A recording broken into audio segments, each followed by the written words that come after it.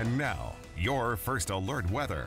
It's Monday, July the 13th, and there's one lonely cloud in Pocatello. We're, so we're just going to ask him to swipe right. We'll find, find somebody to hook up with, right? 76 and sunshine right now in Pocatello. Winds are out of the southwest at about 18. The sun will go down tonight at 9.08. We get those clouds out of here with this breeze today. It's 71 in Idaho Falls right now, and that brisk wind will continue. We've got a lake wind advisory for the American Falls Reservoir, and we also have a long line at Chick-fil-A again today.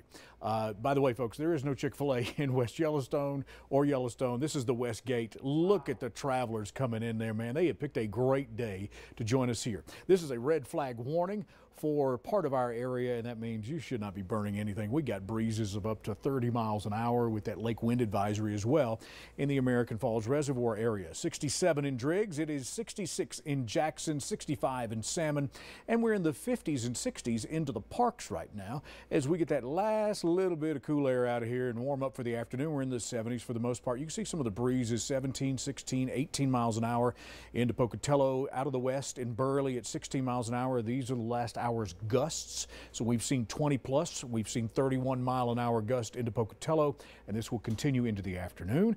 It's going to clear the clouds out, and here's the forecast with our windcast, and you'll see that, yeah, things kind of die down overnight. We'll have some more breezes that trickle in here for Wednesday, but it's not going to disrupt any kind of sunshine. It's going to be really nice. Your Vipercast looks like this. There's that uh, red flag warning. It will expire tonight. High pressure is in control to our north. Breezes, and they'll clear out tomorrow. It's going to be a really nice sunny Tuesday. Temperatures cool down just a little bit here. We get back to Wednesday, and we start ramping up toward 90 degrees again for the weekend. You likey? Yeah, just swipe right. 75 in Afton, 77 Soda and Lava, 79 approaching 80 in Burn. It'll be in the low to mid 80s along the coast of Idaho. We get to Jackson, it'll be 72, 74 in Dubois. We're approaching 80 right here through Rexburg and St. Anthony and 77 in Ashton. A little cooler in the parks. It'll be in the upper 70s to around 80 for the central Idaho mountains and still cool overnight tonight in the 40s and 50s for most of us. The site, IF Blackfoot, all at 82, Aberdeen at 83, cooler in American Falls with that lake wind advisory through here. And yes, be careful if you're on the water. 80 choppy seas, as we like to say. Yes, if you're taking the Snake River Ferry later, uh, make sure you have on a life jacket and a Gilligan hat. 83 in Pocatello. All right, here's your local news eight-day extended forecast with a breezy afternoon ahead.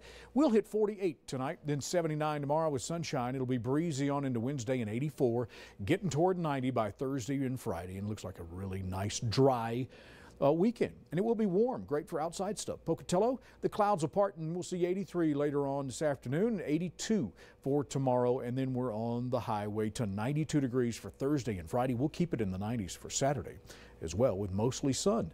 Blackfoot, we're headed toward 82 today. 47 tomorrow morning when you wake up with us here on Local News 8 and the Big 3. It'll be 79 Tuesday and then windy for Wednesday in 84, closer to 90 by the wrap up of the week. Rexburg, it'll be 80 and then we'll see 77 tomorrow. Clouds begin to shift out of here and things are looking nice and dry. We'll have a slight chance of some moisture around for Friday and Saturday, but it should be nice this weekend. We're in the upper 80s. Salmon 77 a day, nice tomorrow. Lots of blazing sun and 79, windy into Wednesday.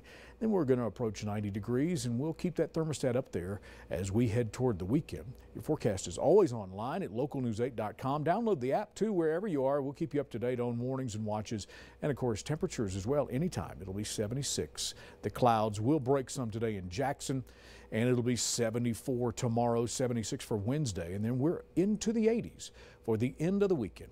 Don't go anywhere. Local News 8 at noon.